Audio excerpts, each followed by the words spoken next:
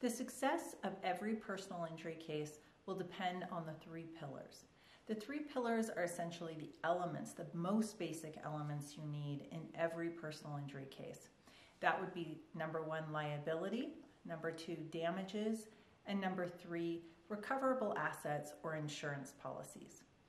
The first pillar, liability, will you will need evidence. You the to support liability, you need uh, video footage from the scene, witness statements, uh, police reports, because liability means the person who caused your harm, they had a duty of care to you.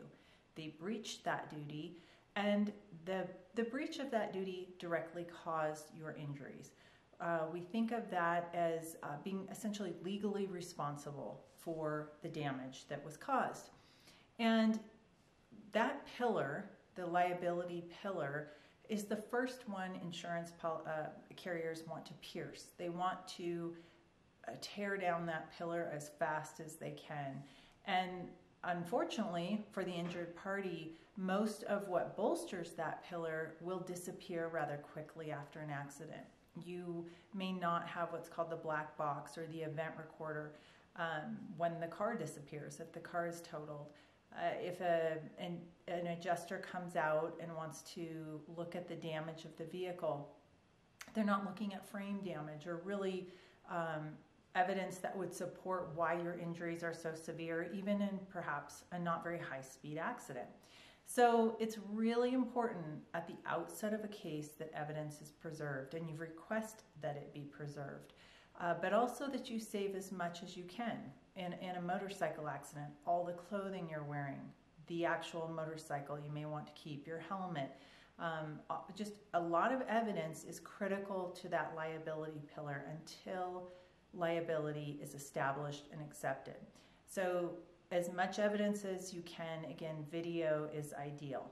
So the second pillar, damages.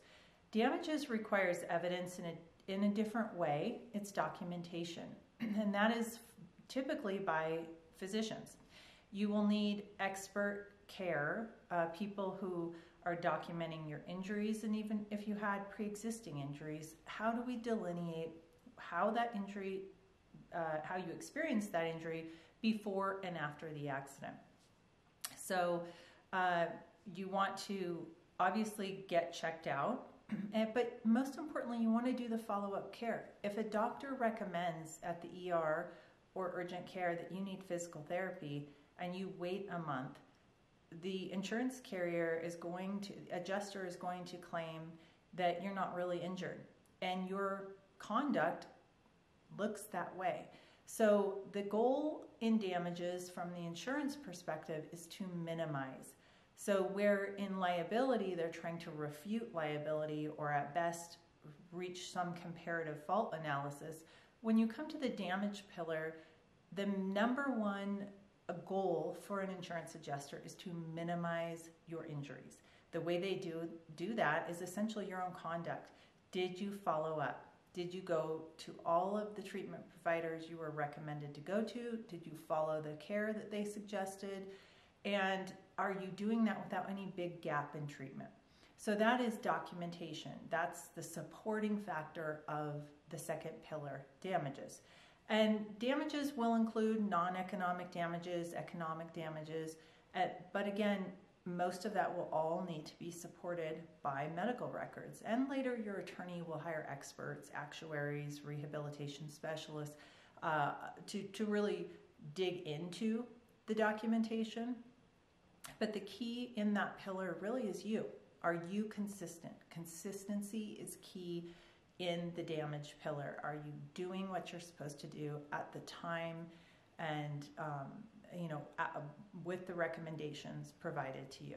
So then we come to pillar three, which is often the most frustrating because you may have done everything right with liability and with damages.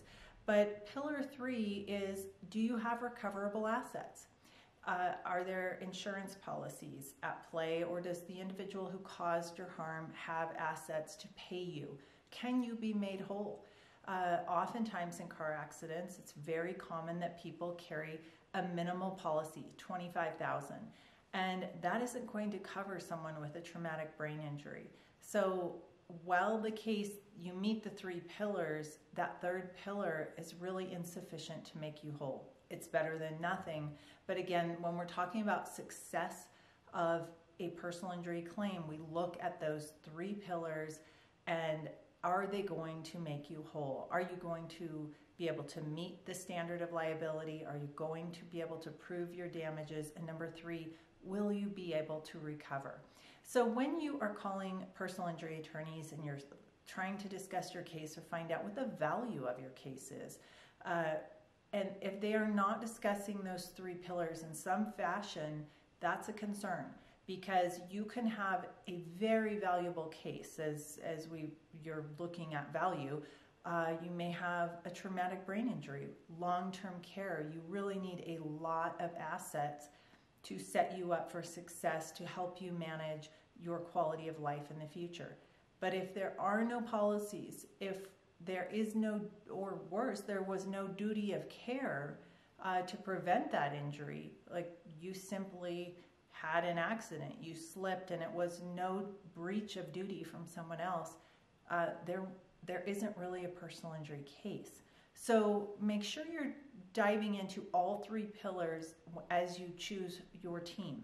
Um, are they really looking at your case holistically and what really must exist to have a successful case? So thank you for watching. I hope that answers some of your questions and please hit like and subscribe. Thank you.